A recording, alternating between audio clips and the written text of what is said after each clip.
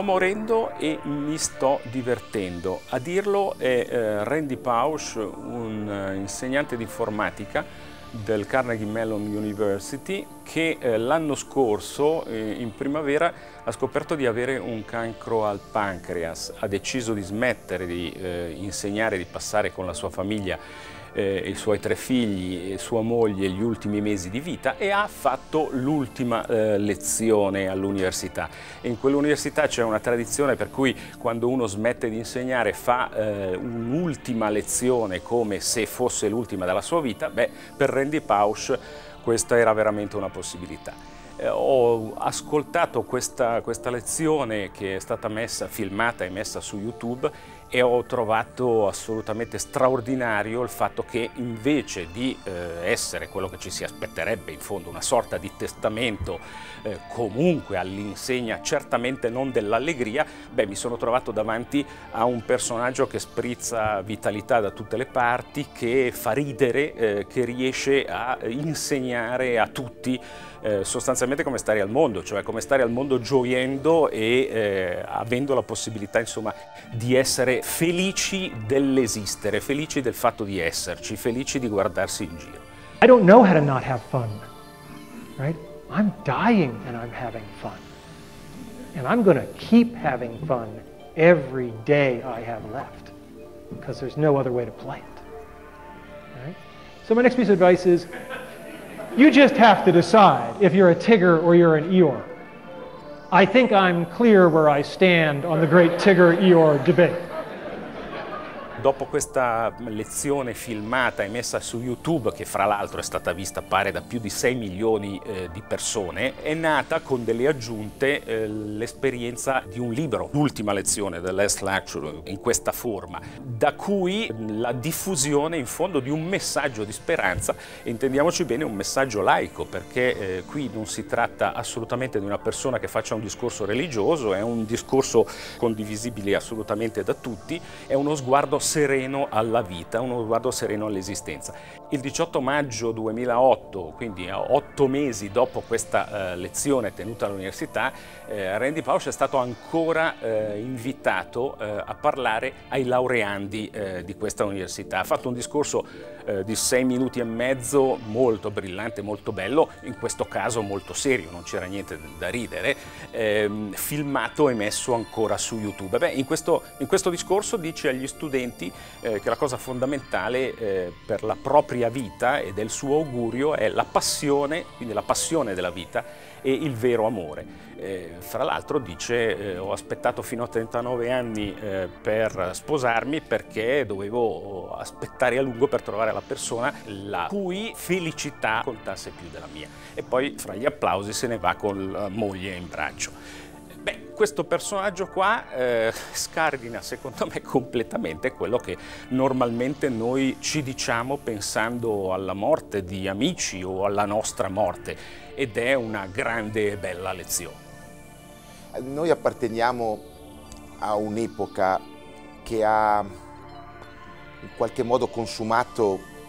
le parole attorno alla morte. Eh, la morte il processo del morire, come dire, si sono, si sono impoverite di parole, rimanendo e restando nella loro crudezza, come dire, il segno di un destino a cui alla fine non possiamo, non possiamo trovare rimedio. Questo processo, che è cominciato naturalmente secoli fa e che appartiene tutto intero alla storia dell'Occidente, nasceva da una illusione, l'illusione eh, che era quello che si potesse in qualche modo sconfiggere la morte, si potesse in qualche modo eh, farne a meno o renderla quell'incidente attorno a cui si possa trovare tecnologie adeguate per in qualche modo prevenirlo, evitarlo. L'antichità ha infinite testimonianze di dolore, e di disperazione naturalmente di fronte alla fine della vita, ma anche infinite testimonianze di un modo di reintegrare, di raccontare questo momento, questa stagione degli addii da questo mondo dentro tutto il percorso della vita di un uomo. Eh, io ho l'impressione che molto delle nostre paure, della nostra incapacità di, di, di fare come ha fatto questo professore universitario, eh, nasce proprio dal fatto che non abbiamo più, dire, una giusta grammatica, un giusto lessico per dialogare con questo momento, con questo momento della vita, dico, perché la morte bisogna pur affermarlo, non è qualcosa che sta fuori, il morire non sta fuori la vita, sta dentro la vita, solo che è uno dei momenti crudi, uno dei momenti di verità, se vogliamo, uno dei momenti per cui qualche, qualche cosa de, dell'abitudine, della quotidianità, del qualcosa che ritenevamo in qualche modo certo, viene a essere eh, portato alla dimensione della sua fragilità e quindi a richiamarci la nostra stessa fragilità. Ecco allora che questo professore fa una lezione magnifica in cui chiama anche al sorriso e chiama senza, come dire, senza retorica, senza retorica, con grande semplicità e senza nemmeno un richiamo ai temi abituali su cui questo dialogo con la morte potrebbe essere ristabilito, che sono i temi dell'aldilà, i temi della fede, che naturalmente appartengono a un orizzonte che non chiude la strada ma la illumina oltre il momento finale. No, lui richiama in qualche modo eh, con grande eroismo, se volete, ecco, sono degli eroi, degli eroi dei nostri giorni, degli eroi della quotidianità dei nostri giorni, eh, richiama un dato molto semplice, eh, richiama il dato che si può finire, si può terminare, si può terminare una lezione, si può terminare un corso di vita,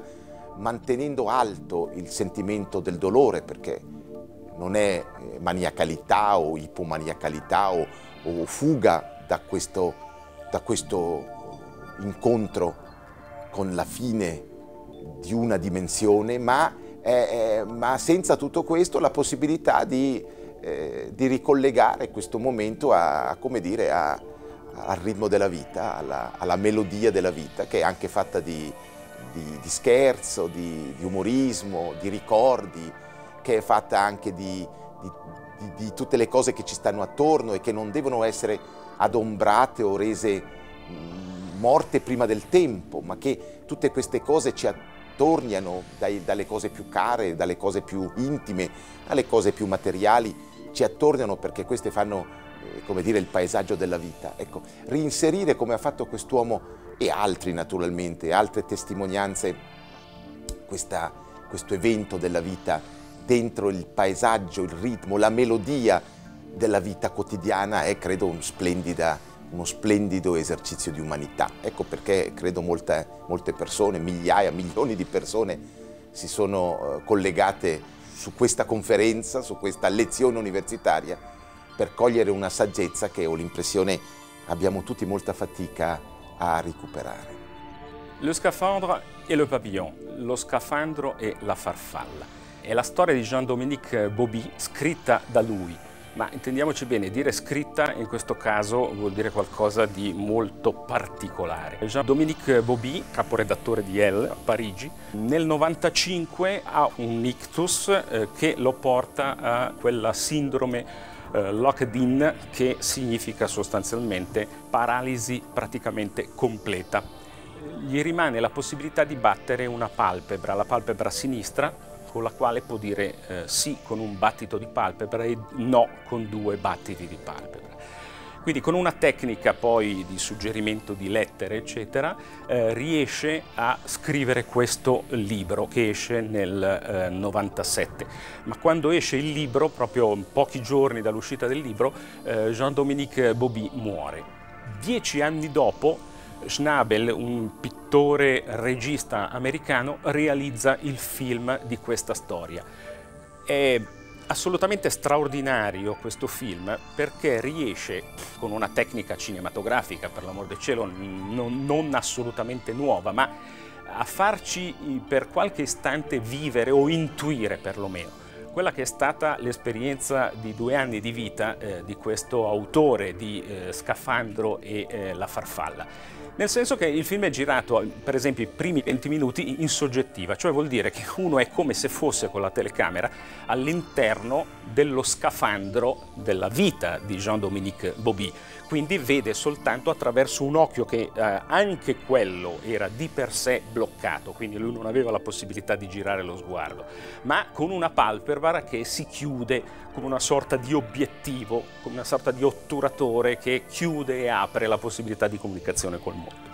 Bene, eh, in questa storia che ha tutte le connotazioni del, del dramma e della tragedia, ehm, si legge in filigrana un'esperienza sostanzialmente di speranza, di, di capacità di guardare in modo sereno alla vita. Sembra francamente incredibile, impossibile, eppure questo è vero. Anche qui siamo di fronte a una, certamente a una personalità straordinaria, ma comunque una persona che ha trovato i codici giusti per tradurre eh, il significato del, dell'esistenza. E intendiamoci bene, questo non era eh, prima dell'incidente, insomma, Jean-Dominique Bobby era uno a cui piaceva vivere, eh, piacevano le donne, piacevano le belle auto, eccetera, faceva la cosiddetta bella vita. Con questo incidente questa persona guarda al mondo, guarda la sua realtà, quella dei suoi figli, con una lettura di una profondità e di una capacità eh, assolutamente straordinaria eh, di lungimiranza, per cui eh, diventa anche qui una sorta di bellissima lezione di vita. Ma di nuovo siamo di fronte a, a questo tema grande di come fare, di come rendere vitale la morte, come renderla, eh, di come fare della morte un momento, un momento della vita. Il che vuol dire che, come dire, la morte non è quella parca che con la sua falce ti cancella, ti, ti annulla, la morte è la morte è il morire nella sua dolorosità estrema, se ne parla e noi ne parliamo oggi qui eh, senza essere eh, in quella condizione, per cui ne parliamo con la distanza che deve essere usata anche con molta umiltà, perché una cosa è parlarne, una cosa è starci dentro una condizione come quella. Ma se ne siamo fuori per ora, se possiamo parlarne quello sguardo, con quella piccola distanza in qualche modo che separa le parole dagli eventi, beh, allora possiamo immaginare che, che quella è lo sforzo da farsi, che altri hanno già fatto prima di noi, che la storia della, del nostro Occidente ha già fatto, eh, per cui io dico sempre, eh, prima di inventare cose nuove andiamo a scoprire cosa è già stato fatto attorno a questo bisogno, problema di rendere vita, di rendere la vita alla morte, senza la quale la morte sarà sicuramente eh, il buio e sarà sicuramente l'oscurità e sarà sicuramente il vuoto. Ecco allora che nel, nel lavoro sulla farfalla e lo scafandro si colgono due cose. La prima cosa si si coglie il gesto creativo di questo uomo in relazione a, a, alla, alla, giornalista con cui scrive. Di nuovo si può fare questa operazione di rendere vi, viva la morte attraverso l'altro. Questo mi pare un esempio fantastico, formidabile. La giornalista che interpreta il battere delle ciglia, delle palpebre, che sono l'unico mezzo di comunicazione di quell'uomo, ma in quel dialogo, quasi dialogo muto, dialogo fatto di segni che per noi spettatori esterni sono quasi invisibili, ecco, in quel dialogo avviene, avviene questo miracolo. Dunque, posso dire, se mia, il, il, mio obiettivo è quello di, di dire facciamo qualcosa per rendere viva la morte, questo lo si può fare soltanto nell'incontro con l'altro. Questo altro può essere un uomo, un altro uomo, questo altro può essere, può essere Dio naturalmente, può essere l'incontro con la, le figure dell'aldilà, eh, ma certo c'è bisogno di un altro. Un altro con la A minuscola o con la A maiuscola, come si vuole,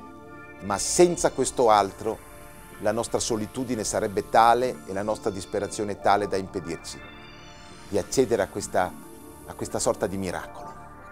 che sono, è un vero miracolo della vita, il rendere viva la morte. E allora, eh, e, e, questa è la prima cosa che colpisce nella scrittura, nella, nella, nella trasmissione e poi nella scrittura di questa, di questa, di questa vicenda. Poi c'è un'altra cosa che io vidi non nel film che non ho visto, il film presentato a Cannes l'anno scorso, ma che vidi nel documentario che venne fatto allora attorno a questo uomo. C'è una scena che ho ancora ben impressa, quando la giornalista dice siamo in Normandia perché la clinica dove quest'uomo è ricoverato sta al nord della Francia, quando eh, la giornalista dice adesso vado sulla spiaggia vado in un piccolo ristorante della spiaggia a mangiare alle ostriche.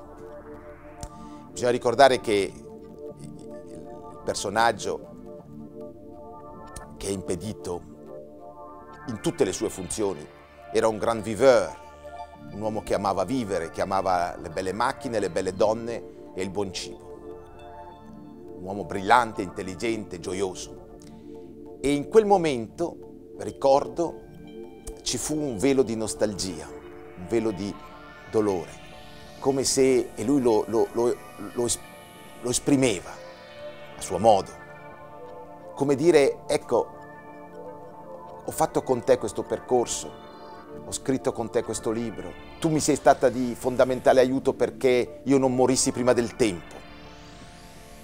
perché non bisogna che la morte nera prenda il possesso sulla morte bianca, la morte, la morte della vita, la morte nella vita, la vita nella morte. E, e, però, e però non posso sfuggire alla nostalgia dolorosa di quelle ostriche, di quel eh, mare che adesso tu vedrai e io non potrò vedere eh, nel villaggio, nel, in quel villaggio della Normandia. Ecco, io lo ricordo ancora come un momento per me spettatore doloroso, e questo mi ha richiamato che ogni discorso che noi possiamo fare sui tempi finali della vita, sulle grandi malattie, in cui possiamo certamente ricordare gli eroi come quel professore, possiamo ricordare gli esempi, gli esempi, esempi esemplari come il caso di, del, Le Papillon e, e lo scafandro, possiamo, possiamo, però anche ricordare eventi molto, più, molto meno eclatanti e molto meno spettacolarizzati come spesso i, i, tempi finali della vita di, di chi ci sta vicino e, e, che riesce con grande potenza, forza, miracolosa, miracoloso eroismo a affrontare la fine con, con, a testa alta o con grande umiltà. Ecco, noi possiamo sempre ricordare questi, ma dobbiamo anche sempre ricordare che quel luogo è un luogo rischioso, è un luogo che non è mai esente, non potrà mai essere esente dal dolore, che già ci appartiene fin da bambini, dal dolore della perdita, della perdita della cosa amata. Perché eh, se noi amiamo la vita, e, e Bobby amava la vita, ma l'amiamo la vita, e l'amiamo nelle piccole cose, l'amiamo nelle nostre,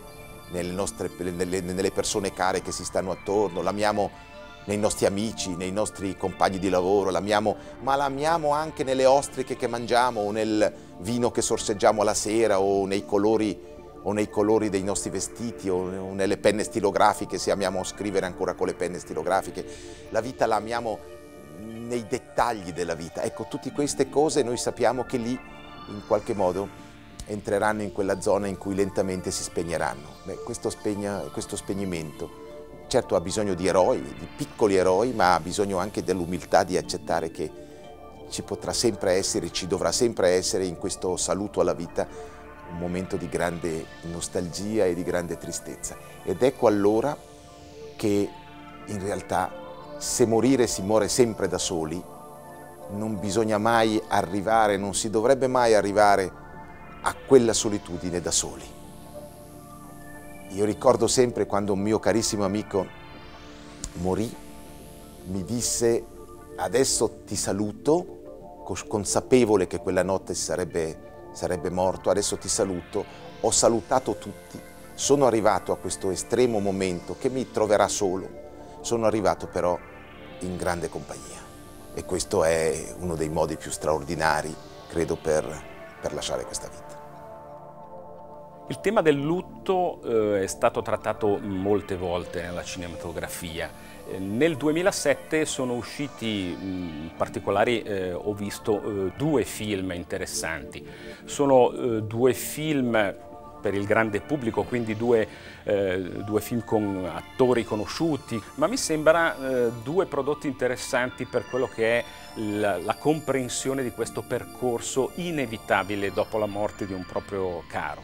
Si tratta di eh, PS I Love You e eh, Thing We Lost in the Fire, che significa le cose che abbiamo perso nell'incendio. Sono due film che ci accompagnano, eh, direi in modo sereno, eh, anche se travagliato, in quello che è un percorso e da questo punto di vista diventano pur essendo persino divertenti, eh, un'occasione direi quasi pedagogica per, per, capire di più, per capire che cosa potrebbe essere davvero un sano percorso di lutto. Beh, il lutto è innanzitutto un'esperienza oltre che normale, è un'esperienza vitale e questo naturalmente eh, rende a tutto questo tema la sua dimensione quasi un po' scandalosa. Eh, quando si dice eh, con una battuta che a che cosa serve morire. Normalmente mm, noi tendiamo a dire a, a nulla, anzi serve a portarci dolore, a portarci sconforto. E invece eh, morire serve per vivere. Sembra una, dire, una frase ad effetto, ma la vita di un uomo, la vita di un uomo senza i lutti, che sono esattamente la rappresentazione, l'esperienza minimale delle tante piccole morti che ci accompagnano da quando siamo nati, da quando appariamo su questa terra fino alla fine del nostro viaggio. Ecco, queste piccole morti che costruiscono eh, la nostra vita. Senza queste piccole morti noi, noi saremmo dei viaggiatori ciechi, dei, dei viaggiatori muti, dei viaggiatori sordi dentro il viaggio della vita, probabilmente dei viaggiatori immobili e dunque dei viaggiatori che non colgono più in realtà il percorso, il senso del nostro viaggio. Saremmo allora sì morti. Ecco, allora eh, la psicologia ci ha insegnato molto bene eh, come fin da quando siamo bambini una delle grandi acquisizioni che un bambino deve fare per costruire proprio anche il suo mondo interno, per costruire il suo mondo psichico, per costruire, eh, come dire, la dimensione affettiva che lui pone quasi fosse una sorta di, di, di, di di coperta che pone sul mondo, di colore del mondo, quella che i tedeschi chiamano la Stimmung, la voce del mondo, che parte dalla voce della nostra interiorità. Ecco, tutto questo nasce attraverso un momento di dolore, perché il dolore appartiene a questo percorso, ma un dolore creatore, non un dolore che ti annichilisce. Certo c'è anche il lutto che ti annichilisce, che è un lutto non fatto, mal fatto, un lutto evitato, un lutto negato, ma quando il lutto è fatto correttamente dall'individuo e dalla collettività, perché spesso i grandi lutti hanno bisogno degli altri. Non basta pensare come in una mentalità troppo individualista che basta farlo da sé. Certo, a volte dobbiamo alla fine farlo da noi stessi e nel nostro foro interiore, ma a volte abbiamo bisogno degli altri come un palcoscenico dentro il quale il lutto si realizza, per esempio attraverso tutta una serie di rituali, una serie di, eh, di parole, di racconti, di, insomma, eh, di, di, incontri. Ecco, eh, fin da bambino abbiamo capito che eh, cresciamo nella perdita, nella perdita. Eh, perdiamo, perdiamo, i nostri genitori perché abbiamo bisogno di, cre di crescere in autonomia, li perdiamo quando un piccolo bambino sente la mamma andarsene non sa se la mamma tornerà. Sa però, per cavarsela, che può cominciare a usare un linguaggio capace di sostituire la mamma in carne ed ossa, quella che gli dava il latte. Questo linguaggio eh, che fa da fondo e da fondamento alla crescita umana, questo linguaggio appartiene sì, come primo elemento al grande processo di eh, simbolizzazione che un bambino mette in atto e che poi costruisce bene o male il, dire, la grammatica di fondo della vita senza la quale saremmo malati. Bene, questa dimensione simbolica in cui un oggetto, una cosa fondamentale, vitale, viene sostituita da una parola. Eh, eh, bene, questo è il primo effetto di un lutto che un bambino eh, deve cominciare a fare. E, beh, sappiamo che a volte questo non riesce, sappiamo che a volte questo è fatto in modo imperfetto e la vita poi lo dirà, dirà lascerà le tracce di, questa, di questi lutti non fatti in modo corretto o lutti parziali. Questo per dire, insomma, che, che, il lutto, che quell'operazione psichica che sostituisce le perdite con altre cose, dunque un'operazione fortemente creativa quando è fatto bene, una creazione che, lo ripeto, non esclude il dolore, anzi il dolore e la sofferenza ne è quasi in qualche modo, come dire, l'energia. Eh? Il lutto non lo si fa nella gioia, non lo si fa nella frenesia, non lo si fa nella festa. Eh, il lutto lo si fa nella parte tragica della festa, nella parte, nella parte dolorosa della festa, per riconquistare un altro, un altro oggetto che per, ri, ri, ri, per sostituire la cosa perduta con qualcosa d'altro. In questo continuo processo di, dire, di metaforizzazione della vita, di sostituzione della vita, perché noi da quando siamo nati al giorno che ce ne andiamo continuiamo bene o male a oscillare tra il bisogno di tenere le cose, ma l'ineluttabilità di perderle e la necessità di riconquistarle, ricostruirle attraverso il nostro linguaggio, un linguaggio che però carico di affetti, in modo che in qualche modo questo viaggio nel mondo non diventi smarrimento, non diventi, non diventi deserto. Un salto indietro nel 94 ehm, per eh, ricordare un incontro straordinario, secondo me, che ha commosso eh, le, credo, 800 persone che erano presenti a Trevano il 27 novembre 1994 ad ascoltare il vescovo Eugenio Corecco, che sarebbe morto dopo alcuni mesi, che era molto ammalato e che ha parlato con una apertura e facendo diventare fatto pubblico la sua malattia, il suo stato di salute che stava eh, degenerando. Possiamo capire che la malattia è in ultima analisi, ma veramente una grazia perché ci cambia eh, interiormente, ma l'accettazione è eh, il presupposto che dobbiamo avere dentro di noi. Ed è il presupposto che il Signore ci può dare come grazia, che da soli non possiamo ehm, realizzare eh, totalmente. Una registrazione video eh, che ancora oggi è su DVD e che noi mettiamo a disposizione e un libretto con la trascrizione di queste cose. Il Vescovo Corecco, fra eh, tutta una serie di bellissime considerazioni che ci aveva fatto, eh, aveva detto qualcosa mm, che, che, che, che, ha lasciato certamente il segno. Era questo, grosso modo, la, la malattia grave che ti porta alla morte può anche essere una grazia, ma aggiungeva, questo lo sai solo dopo. Assolutamente, perché dirlo prima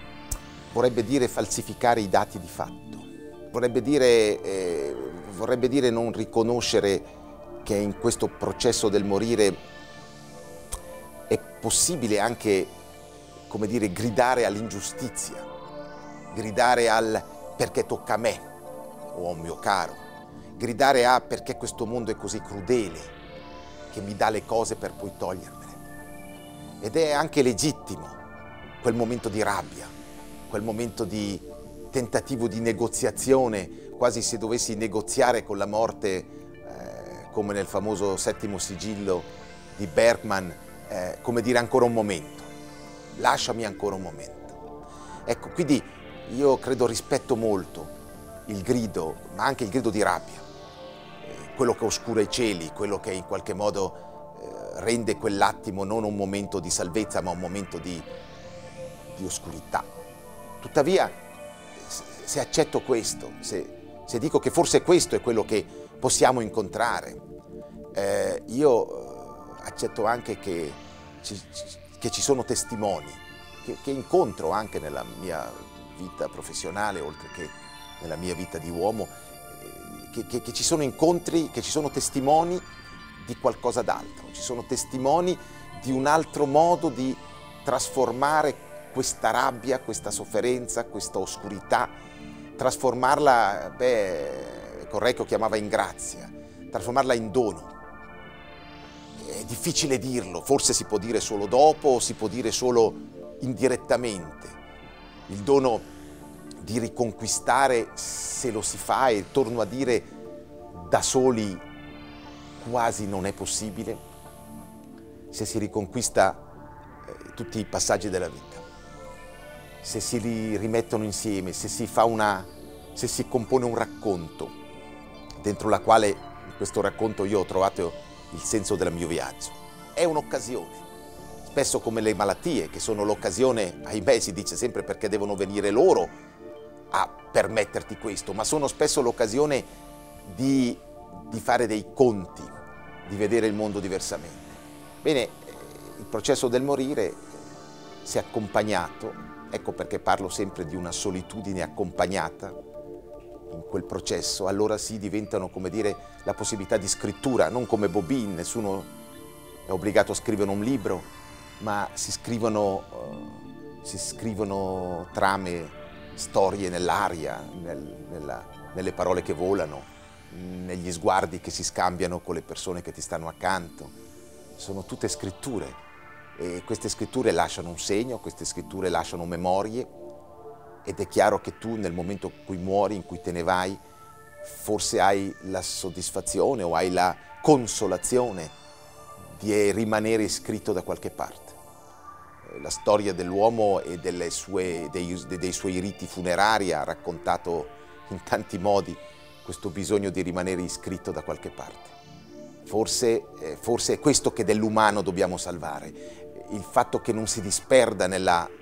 nella mera sabbia, ma che pur tornando là da dove siamo venuti, dalla terra o dai cieli, però che nostra, il nostro itinerario sulla terra, eh, piccolo o grande che sia stato, abbia, abbia permesso di scrivere una storia. Ecco, questa garanzia di scrittura, questa sì certo è una grazia, è una grazia che ricevi e una grazia che doni. Dunque c'è qualche cosa al di là dell'urlo e del grido di rabbia contro i cieli che si sono annebbiati, c'è anche questa dimensione del dono, ricevuto e donato, che questo momento estremo può offrirti. Certo, siamo in dimensioni che, come dicevi prima, separano fortemente le parole che, che, che sto dicendo o che, o che, sto pensando dagli eventi e questo iato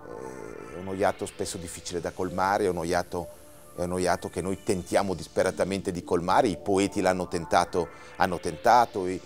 gli artisti hanno tentato, il cinema ha tentato, insomma tutta la grande creazione ha tentato proprio di colmare questo iato tra il vissuto di chi è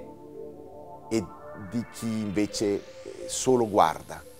di chi è e di chi guarda e questo è però uno dei tanti destini eh, che tocca all'uomo.